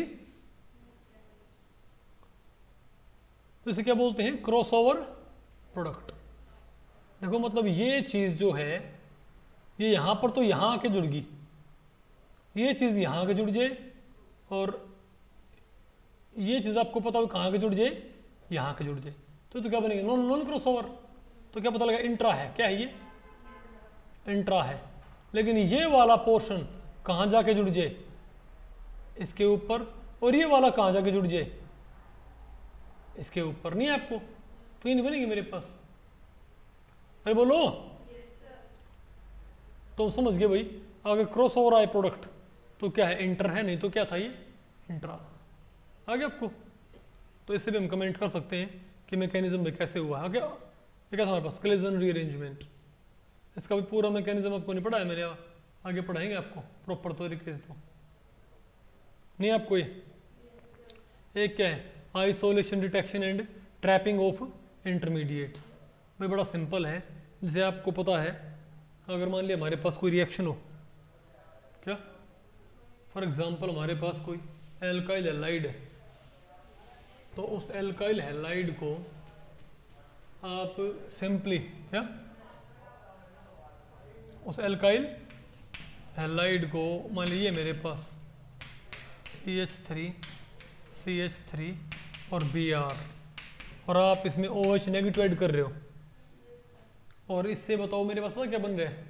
इससे मेरे पास ये बन रहा है C H three C H three C H three और ओ एच बन रहा है।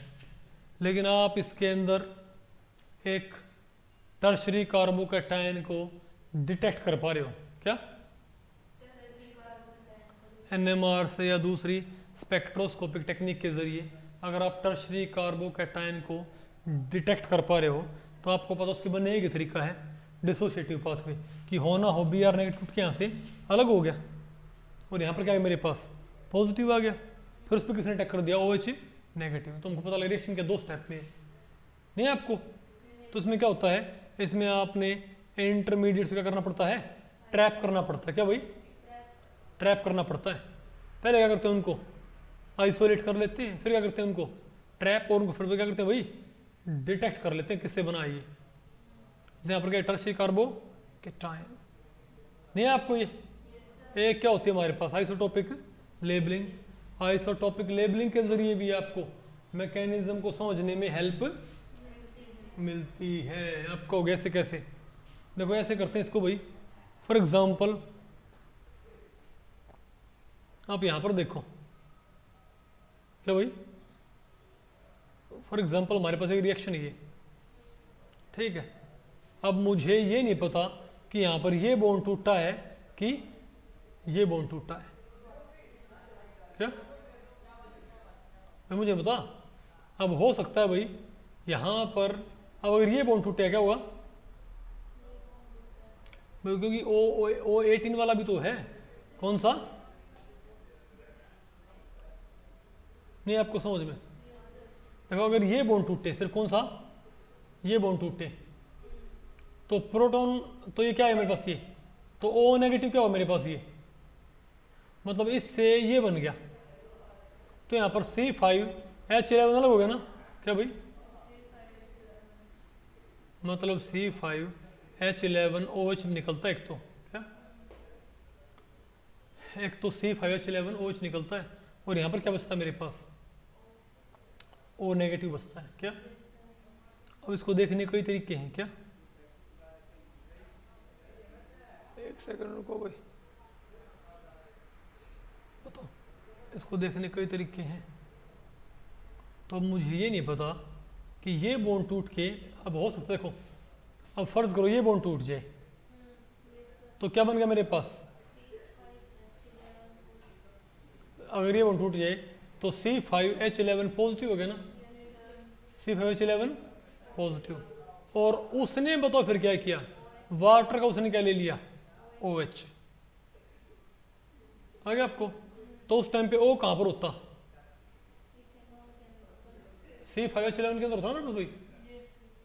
लेकिन अब अगर ये बोन टूटता, क्या होता है? ये बोन टूट जाए। इजंट इट और तब बताओ क्या हो जाए हमारे पास? और ये यहाँ से क्या ले ले बताओ भाई? इसमें से क्या ले लिए प्रोटोन। तो ये तो ये ये बताओ क्या निकालेगा हमारे पास ये? सी फाइव एच इलेवन और से जगह में बस ये। नहीं, आपको समझ में? फिर यहाँ पर आगे तो कौन बाइंड करे हमारे पास? बताओ भाई, अब ये एच टू वाला क्या होगा हमारे पास? ओ अच्छा है, कौन है हमारे पास ये? एच टू वाला OH मतलब यहाँ पर अगर मान लिया, अगर सी डबल बॉन्ड ओ से बाद में कौन सा ओ जुड़ा मिला आपको? ओ एटीन वाला। मतलब होना हो, ये वाला बॉन्ड टूटा है। क्या भाई? ये वाला बॉन्ड टूटा है, और तब यहाँ पर कौन है हमारे पास? ओ एच और उसने प्रोटोन रिलीज़ कर रखा है। नहीं आपको समझ में? तो ऐसा आप कमेंट कर सकते हो भाई, कि कौन सा बॉन्ड कौन सा बॉन्ड नहीं टूटा है। आ गया आपको? और फिर मैकेनिज्म समझने में हेल्प मिलती है। फिर क्या हमारे पास? काइनेटिक स्टडीज़ क्या? जो भाई रेट ऑफ़ रिएक्शन होती है या ऑर्डर ऑफ़ रिएक्शन होता है, उससे भी आपको भाई मैकेनिज्म समझने में हेल्प मिलती है। आपने पहले पढ़ भी रखा हो आप बी एस सी में। इवन एम एस सी के अंदर ना, आपको होगी काइनेटिक से कैसे हेल्प मिलती है? तो फॉर एग्जांपल अगर मेरे पास ये है C H three C H three और सी एच थ्री। ओके? और यहाँ पर लगा हुआ बी आर और प्लस में क्या है? O H negative. प्लस में क्या है? तो अगर मान लिया, अब हो सकता है रिएक्शन में एक तो क्या हो? एसोसिएटिव पासिस हुई हो। किससे? उसमें क्या होगा बताओ? इसमें चार के ऊपर पहले कौन जुड़ेगा? ओ एच तो कोऑर्डिनेशन क्या हो जाएगा? पाँच। और यही क्या हो हमारे पास? Rate determining step. तब बताओ आपके पास इसका ऑर्डर क्या आना चाहिए। तो अगर दोनों जुड़ते और पहले क्या बनता हो मेरे पास? पहले मेरे पास तो क्या बनता हो भाई? Trigonal bipyramidal state methyl methyl methyl, यहाँ कौन है? बोलो भाई बी आर और यहाँ कौन है? ओ OH नहीं है आपको? और तब इसमें से बाद में बताओ, फिर कौन निकल जाए यहाँ से? बी आर नेगेटिव तो बताओ मेरे पास क्या बन जाएगा? एल्कोहल ठीक है, लेकिन मैं कहता हूँ भाई ये ऐसे होता एसोसिएटिव पाथवे है। यानी चार से पहले क्या होता कोऑर्डिनेशन पाँच। लेकिन अब मैं ये बोल दूँ कि डिसोसिएटिव पाथवे है। यानी पहले यहाँ से कौन निकल गया? बी आर पहले यहाँ से क्या निकल जाए? बी आर तो पहले बताओ मेरे पास क्या बनेगा? C H three C H three और सी एच थ्री कार्बोकैटायन यहाँ से बी आर निकल गया ना। अब अगले स्टेप में कौन आएगा? ओ OH तो मैं कहूँ यहाँ पर तो ये क्या है? स्लोएस्ट और यहाँ पर ये बताओ कौन सा मान लिया? स्लोवेस्ट यहाँ पर तो ये वाला क्या है? स्लोवेस्ट और यहाँ पर ये वाला क्या है? स्लोवेस्ट है। ठीक है। तो आप ये बताओगे ऑर्डर क्या है इनका? तो यहाँ मैंने आपको बताया था ना कि एलिमेंट्री स्टेप का जो ऑर्डर होता है एलिमेंट्री स्टेप में मोलिकुलरिटी और ऑर्डर क्या होता है? एक ही होता है भाई। तो इस स्लोवेस्ट स्टेप को मैं, इस स्लोवेस्ट स्टेप में ये बनाने के लिए कितने स्पीशीज इस्तेमाल हो रही हैं? दो। एक और दो। तो यहाँ पर ऑर्डर भी क्या आएगा? डबल ऑर्डर यहाँ पर क्या आएगा भाई? डबल आएगा. लेकिन यहाँ मतलब क्या हमारे पास? यहाँ पर ऑर्डर क्या आएगा? सिंगल आएगा. क्योंकि भाई पहले स्टेप में इंस्टीट्यूट था बस। तो अगर रेट सिर्फ़ किसके ऊपर डिपेंड करे? इसके ऊपर। तो तो क्या है? डिसोसिएटिव पाथवे फ़र्स्ट ऑर्डर आए तो क्या है? डिसोशिएटिव सेकंड ऑर्डर आए तो क्या है? एसोसिएटिव तो ऐसे आप कमेंट कर सकते हो भाई। मैकेनिक मतलब काइनेटिक स्टडीज़ के ज़रिए भी कमेंट किया। जा सकता है। एक हमारे पास क्या होता है? स्टीरियो केमिकल एनालिसिस क्या भाई? इसके ज़रिए भी आप इस बात के ऊपर मालूम कर सकते हो भाई कि ऑर्डर कैसा हुआ होगा। आपको कैसे कैसे? स्टीरिक केमिस्ट्री से हम कैसे मालूम कर सकते हैं? फॉर एग्ज़ाम्पल अगर मान लिया मेरे पास एक कायरल एल्काइल है क्या? अगर मेरे पास एक कायरल क्या है alkyl halide C H three मान मेरे पास कायरल क्या हेल्काइल हेलाइड हुई मेरे पास ओके तो ये बताओ कौन है? सी एच थ्री ये कौन हमारे पास? मिथाइल सॉरी इथाइल और ये बताओ हमारे पास क्या है? ये बताओ हमारे पास क्या प्रोपाइल और ये बताओ मेरे पास क्या है? बी आर क्या ये? बी आर अब ये आ गया, कोई न्यूक्लियोफाइल आ गया मेरे पास। क्या है कोई? न्यूक्लियोफाइल ठीक है।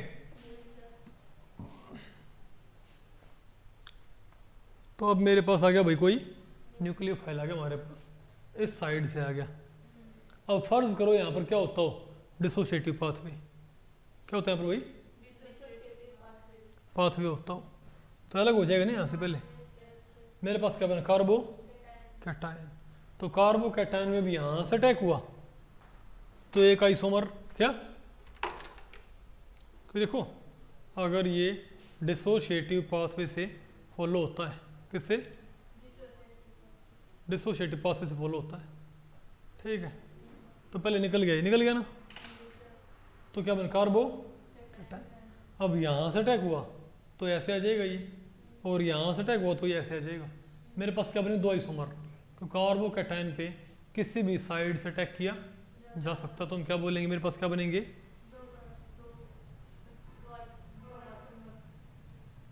मेरे पास क्या बना चाहिए? रेसमिक मिक्सचर तो मैं समझ गया भाई क्या डिसोसिएटिव है। दूसरी तरफ़ अगर क्या होता, वो तो। दूसरी तरफ़ क्या होता अगर ये? एसोसिएटिव पाथवे से होता, क्या होता? तब बताओ क्या होता हमारे पास। अब ये क्या मेरे पास? एंट्रिंग ग्रुप तो ये इस साइड से आया। तो पहले क्या बनता? ट्राइगोनल बाई पिरामिडल और ये निकल जाता। अब मेरे पास क्या होता? सिर्फ़ क्या बनता? इनवर्जन क्या होता मेरे पास? एक सिंगल आइसोम बनता। तो हम क्या बोलते हैं ये? एसोसिएटिव पाथवे क्या? तो ऐसे हम भाई स्टीरियो केमिस्ट्री होती जो रिएक्शन मिक्सचर की उसको देख के भी हम कमेंट कर सकते हैं कि क्या बना होगा। Isn't it? और बताओ क्या हमारे पास? आ गया एक क्या? मतलब सारे पहले पड़ गई ना बस ठीक है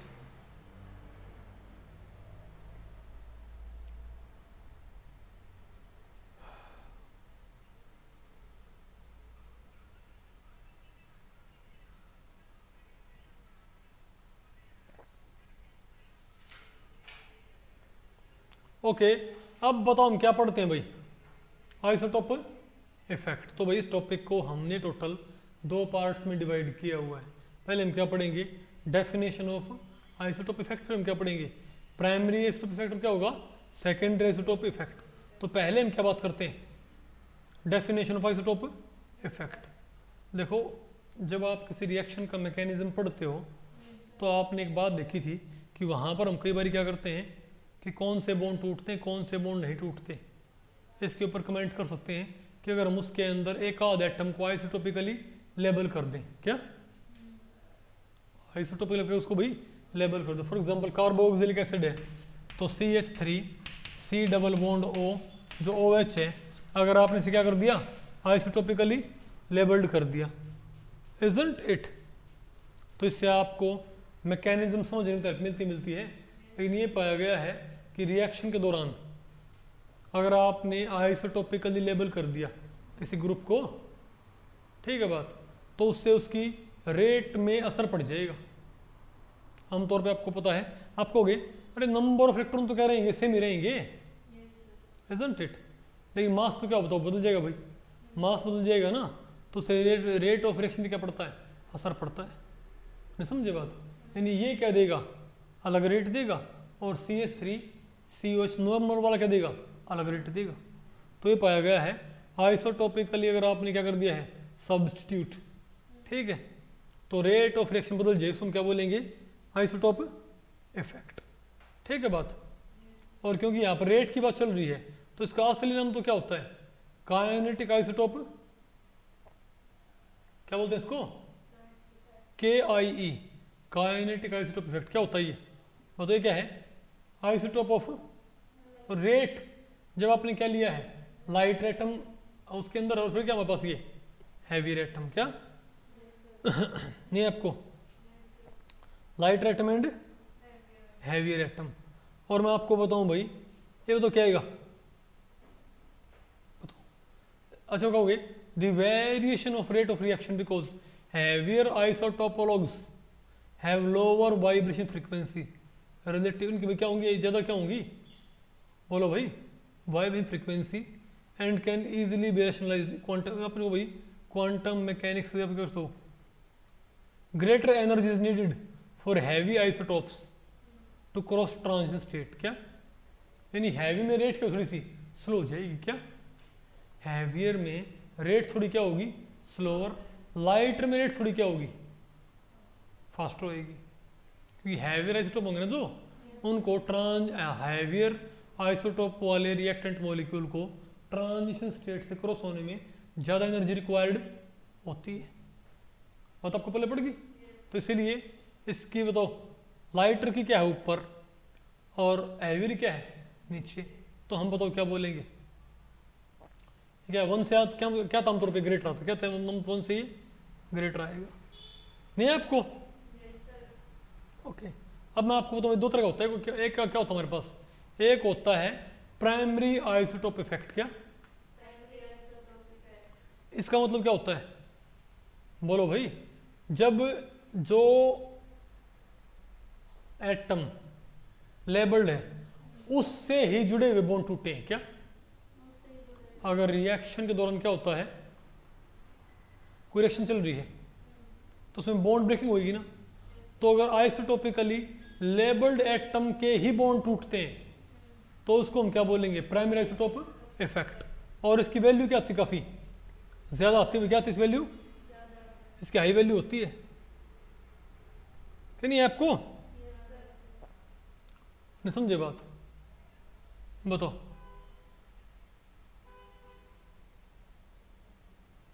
एक एक बताओ बताओ पास क्या होता है। सेकेंड आइसोटोप इफ़ेक्ट अब सेकेंडरी आइसोटोप इफ़ेक्ट क्या होता है? यानी अगर केमिकल रिएक्शन के अंदर जो बॉन्ड ब्रेकिंग हुई है, या बॉन्ड मेकिंग हुई है, जो बॉन्ड ब्रेकिंग हुई ना अगर हमारे आइसोटोपिकली लेबल्ड एटम का बॉन्ड नहीं टूटा है। उससे नेक्स्ट मान ले भाई हमारे पास ये है। बोलो भाई ओ एटीन कर रखा आप नहीं आपको समझ में? एक्स एच नहीं है आपको? अगर ये बॉन्ड टूटे तो क्या बोलेंगे उसको? प्राइमरी इफ़ेक्ट और वैल्यू क्या इसकी ज़्यादा आएगी। और ये टूटे तो क्या बोलेंगे इसको? सेकेंड आइसोटोप इफ़ेक्ट बोलेंगे इसको। नहीं, आपको ध्यान रखियो secondary isotope effect are much smaller in magnitude than primary isotope effect दो सेकेंडरी आइसोटोप लेकिन ड्यूटीरी में केस में कहाँ तक पहुँच सकता है? 1.4 तक। क्या भाई? नहीं आपको? अच्छा ये बताऊँ बताऊँ भाई, अगर हमारे पास ये वैल्यू ग्रेटर देन वन आए तो क्या बोलते हैं उसको? नॉर्मल काइनेटिक आइसोटोप इफ़ेक्ट क्या? लेकिन लेस देन वन आ जाए तो उसको हम क्या बोल देंगे? इनवर्स आइसोटोप इफ़ेक्ट बोल देंगे उसको। पढ़ लेंगे उसको आराम से भाई। ठीक है।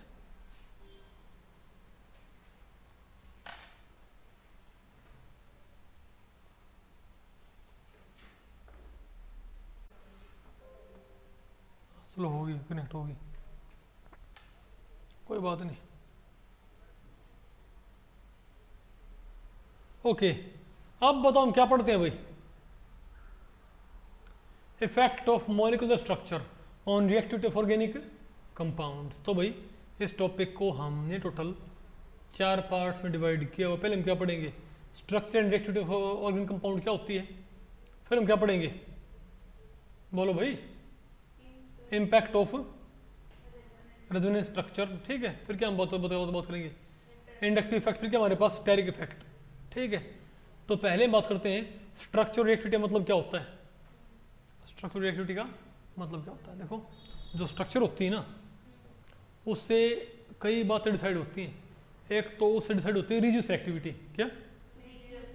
कि अटैक कहाँ पर होएगा? दूसरा, कई बार क्या होता है, अगर आपके पास कोई पर्टिकुलर मॉलिकुलर स्ट्रक्चर है, वो एक पर्टिकुलर रिएक्शन देने लग रहा है। ओके तो स्ट्रक्चर में आपने कोई ग्रुप चेंज कर दिया तो उस रेट ऑफ़ रिएक्शन बदल जाएगी। इसको हम क्या बोलेंगे? Effect of structure on reactivity क्या effect of structure on reactivity बोलो भाई। कहो, आपको कैसे कैसे? फॉर एग्ज़ाम्पल मेरे पास ये है सी एच थ्री मेरे पास एच है, क्या मेरे पास ये? एच और ये बी आर है। अब मान लिया यहाँ पर डिसोसिएटिव पाथवे होता है। मतलब पहले बी आर यहाँ से निकल जाता है, बाद में कोई ग्रुप आता है। तो अगर मैं जितने ज़्यादा यहाँ पर क्या लगाऊँगा? मैंने मैं यहाँ पर इथाइल लगा दिया। तो रेट बढ़ जाएगी। एक और इथाइल लगा दिया, और बढ़ जाएगी। एक और लगाया और क्यों भाई? आपको साफ़ दिख रहा है क्योंकि यहाँ पर डिसोसिएटिव पाथवे हो रहा है तो यहाँ पर बॉन्ड सॉरी कोऑर्डिनेशन नंबर कम होना है। कोऑर्डिनेशन नंबर चार से क्या होना पहले स्टेप में तीन होना है भाई। तो जितनी भीड़ होगी, उतना इस ग्रुप का टूटना क्या हो जाएगा? ईजी नहीं जाएगा? उतना इस ग्रुप का टूटना क्या हो जाएगा? ईजी इसलिए वो तो क्या करेंगे हम यहाँ पर? नहीं आपको समझ में। या मैं या मैं आपको बताऊँ भाई फॉर एग्ज़ाम्पल अगर मेरे पास ये है जैसे, मेरे पास C H three C L है C H three C H two C L है तो यहाँ पर सेल टूटना क्या होता है? ईजी होता है, लेकिन अगर मान लिया, किसी रिएक्शन में सील टूटना है लेकिन यहीं पर अगर मैं इसको भाई बेंजीन से लगा देता हूँ, किससे? बेंजीन से। तो रेजोनेंस की वजह से, ये बताओ क्या ले लेगा? पार्शियल डबल बॉन्ड कैरेक्टर नहीं है आपको? तो सेल बॉन्ड टूटना क्या हो जाएगा? मुश्किल हो जाएगा। बात आपको पहले पड़ रही है? नहीं समझे बात। तो अगर आप स्ट्रक्चर को बदल देते हो अगर सबस्ट्रेट के स्ट्रक्चर में माइनर डिफरेंस करने से क्या? करने से उसकी रेट ऑफ़ रिएक्शन बदल जाए। रिएक्शन की? तो हम क्या बोलें क्या ये? रिएक्टिविटी इसको बोलते हैं रिएक्टिविटी नहीं है आपको ये? तो बताओ। बोलो भाई तो पहले वापस क्या बताओ भाई impact of resonance effect on reactivity तो रेजोनेंस से क्या होता है भाई? रेजोनेंस कई तरीके से इफ़ेक्ट करता है रिएक्टिविटी को। अगर कोई बॉन्ड टूटना है, अगर रेट डिटरमाइनिंग स्टेप में कोई बॉन्ड टूटना है, और रेजोनेंस की वजह से क्या वो बॉन्ड क्या हासिल कर ले? डबल बॉन्ड करेक्टर तो बॉन्ड मज़बूत हो जाएगा। तो टूटना क्या हो जाएगा? मुश्किल। तो रिएक्शन क्या हो जाएगी स्लो नहीं आपको? या फिर मान लिया रेजोनेंस लेकिन या मान लिया भाई, जिस पे यानी कि जहाँ पर कोई अटैक नहीं हो ना, कोई अटैक तो? लेकिन रे डिटरमाइनिंग स्टेप में रे डिटरमाइनिंग स्टेप में जिसको अटैक करना है, क्या? उसने अटैक करना है हाई इलेक्ट्रॉन जगह पे। कहाँ पर? डेंसिटी की जगह पे। मान लिया बेंजीन रिंग है। नहीं आपको? तो इसमें भाई रीजेंट अटैक करना है हाई इलेक्ट्रॉन की जगह पे। अब आपको पता, मैंने आपको पढ़ाया था ना, अब अगर जो ग्रुप लगा, मैं यहाँ पे ग्रुप लगा दें, उसके पास क्या हो माइनस आर इफ़ेक्ट तो डेंसिटी कहाँ से खींच लेगा रिंग से डेंसिटी खींच लेगा ना भाई। तो डेंसिटी कम बचेगी तो रेट स्लो हो जाएगी। अगर ये प्लस आर वाला तो बढ़ा देगा तो रेट क्या हो जाएगी? फास्ट हो जाएगी। नहीं आपको समझ में? या फिर मैंने आपको पढ़ाया था कि जो ग्रुप होते हैं ऑर्थ और पैरा डायरेक्टिंग होते हैं। नहीं आपको? तो ग्रुप लगाने से रिंग के अंदर पाँच साइड्स के ऊपर बराबर डेंसिटी नहीं बचेगी। माइनस आर वाले क्या करेंगे? ऑर्थो पैर से डेंसिटी खींच लेंगे। डेंसिटी कहाँ बचेगी? मेटा पे। तो डेंसिटी वाला जो कोई होगा तो वो कहाँ करेगा। कोई इलेक्ट्रोफाइल होगा, वो कहाँ करेगा फिर। मेटा पे। नहीं आपको समझ में? न्यूक्लियोफाइल अटैक करना, वो कहाँ करेगा। पैरा पे ऑर्थो पे। लेकिन अगर कोई बताओ कौन सा है? मेटा डायरेक्टिंग कौन सा है? वो तो क्या करेगा? वो डेंसिटी खींच ले ऑर्थो पैरा से। बताओ ना कुछ से भाई एक और पैरा क्या करते डायरेक्टिंग क्या करते हैं मेट डायरेक्टिंग अगर ऑर्थो पैरा पर डेंसिटी बढ़ा देंगे तो अटैक कहाँ पर ऑर्थो पैरा पे होएगा? ऑर्थो पैरा से खींच लेंगे तो अटैक कहाँ पर होगा? इलेक्ट्रोफाइल का। मेटा पे। न्यूक्लियर फ़ाइल के उल्टा हो जाएगा। नहीं, आपको तो मैं आपको बता रहा हूँ वही इससे फ़र्क पड़ता है। एक क्या होता है हमारे पास? इंडक्टिव इफ़ेक्ट का इफ़ेक्ट अभी मानो, जिसने अटैक करना है, वो इलेक्ट्रोफाइल है, क्या है? और जिसके ऊपर अटैक करना है। मान लिया रेड डिटरमाइनिंग स्टेप में रे डिटरमाइनिंग स्टेप में जिसको अटैक करना है, क्या? वो इलेक्ट्रोफाइल है। अब इलेक्ट्रोफाइल कहाँ अटैक करेगा? जहाँ इलेक्ट्रॉन ज़्यादा होंगे। समझे बात? तो जिस एटम पे अटैक होना है, उस पर हम क्या जोड़ दें? इलेक्ट्रॉन रिलीजिंग ग्रुप जिस एटम पे अटैक होना है उसके साथ हम क्या जोड़ दें इलेक्ट्रॉन रिलीजिंग ग्रुप तो डेंसिटी बढ़ा देंगे ना उसके ऊपर भाई तो अटैक क्या हो जाएगा? फेवरेबल विड्रॉइंग जोड़ दिया अटैक क्या हो जाएगा? लेस फेवरेबल लेकिन अगर किसी ने अटैक करना न्यूक्लियोफाइल ने किसी ने अटैक करना है? न्यूक्लियोफाइल ने नहीं. है आपको? तो मान लिया कार्बोकेटाइन क्या मेरे पास? इस पर अटैक कौन करेगा? न्यूक्लियोफाइल अटैक करेगा. तो मैं जितने यहाँ पर क्या लगाऊँगा? इलेक्ट्रॉन रिलीजिंग ग्रुप वो डेंसिटी कहाँ बढ़ाएँगे इसके ऊपर भाई इजेंट इट तो इसकी डेफिशिएंसी को कंपनसेट नहीं कर देंगे। तो इसके ऊपर कम पॉजिटिव बचेगा। कम पॉजिटिव बचेगा तो न्यूक्लियोफाइल अटैक कम करेगा। नहीं आपको? विड्रॉइंग जोड़ दूँगा, वो इससे खींच लेंगे। इससे खींच लेंगे, इस पर अटैक क्या हो जाएगा? फेवर्ड ये पहले पॉजिटिव है। विड्रॉइंग जोड़ दी वो और खींच लेंगे इससे। ये क्या हो जाएगा? मोर पॉजिटिव मोर पॉजिटिव हो गया। तो इलेक्ट तो न्यूक्लियोफाइल अटैक करना क्या हो जाएगा? ईजी हो जाएगा। आगे आपको ये तो इससे भी इफ़ेक्ट पड़ता है। यहाँ पर मैंने भाई के ऑर्डर दे रखे ये। अच्छा एक क्या होता है हमारे पास? स्टैरिक इफ़ेक्ट क्या? कई बार क्या होता है कि मान लिया किसी ग्रुप ने अटैक करना है। क्या? हमारे पास कोई पर्टिकुलर सबस्ट्रेट है। और रेट डिटरमाइनिंग स्टेप में क्या? रेट डिटरमाइनिंग स्टेप में मान लिया ग्रुप ने अटैक करना है। ठीक है बात? मतलब अटैक वाला ही ग्रुप अटैक होने वाला स्टेप ही क्या है? रेट डिटरमाइनिंग स्टेप तो सबस्ट्रेट में भीड़ होगी, क्या होगी? तो अटैक अटैक स्लो हो जाएगा अटैक तो क्या भाई? स्लो हो जाएगा अटैक क्यों? ऑलरेडी भीड़ है भाई। नहीं आपको? छीड़ होगी तो क्या हो जाएगा? अटैक क्या हो जाएगा? फेवर्ड हो जाएगा। नहीं आपको? या फिर मान लिया रेट डिटरमाइनिंग स्टेप में क्या होता है? कोई ग्रुप टूट के अलग होता है। तो जितनी भीड़ होगी, टूटना क्या हो जाएगा फेवर्ड मान लिया रेट डिटरमाइनिंग स्टेप में क्या हो रखा है? एक ग्रुप को टूट के जाना है।